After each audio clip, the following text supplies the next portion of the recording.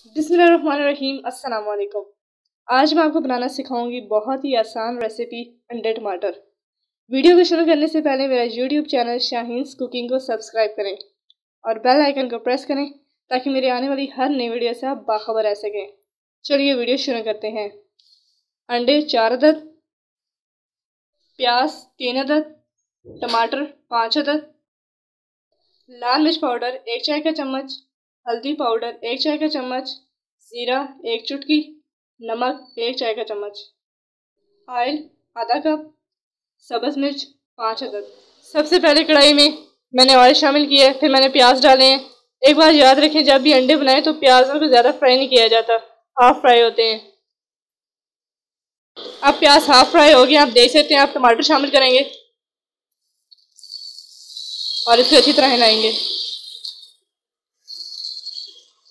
ये बहुत ही आसान रेसिपी है, आप झटपट भी बना सकते हैं।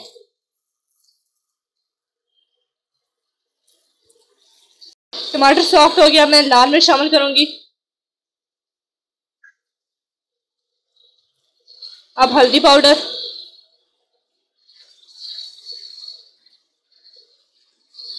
इसे हिला के बाकी जब बाद में शामिल करूँगी। रेसिपी ज़रूर ट्राई किया करें और मेरे चैनल को सब्सक्राइब किया करें। और कमेंट्स बॉक्स में ज़रूर पूछा करें कि अगली रेसिपी कौन सी होनी चाहिए। मेरे चैनल को सब्सक्राइब किया करें वीडियो को लाइक और शेयर भी किया करें। थोड़ी देर हिला के अब नमक शामिल करूँगी।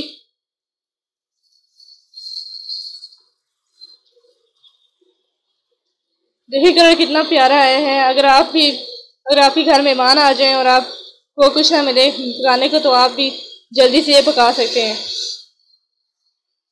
बहुत ही आसान रेसिपी है। जो झटपट तैयार हो जाती है। अब मैंने सबस मिर्च शामिल किए।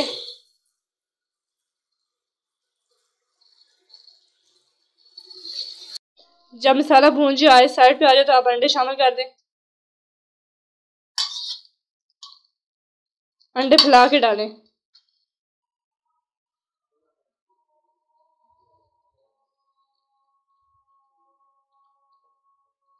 और थोड़ी देर बाद अच्छी तरह हिलाएँ। अब हमारे अंडे टमाटर तैयार हो गए हैं। बहुत ही आसान रेसिपी थी। झटपट से झटपट से बन जाती है। ज़ीरा भी मैंने इसमें शामिल कर दिया है। अब मैं इसे प्लेट में सर्व करूँगी।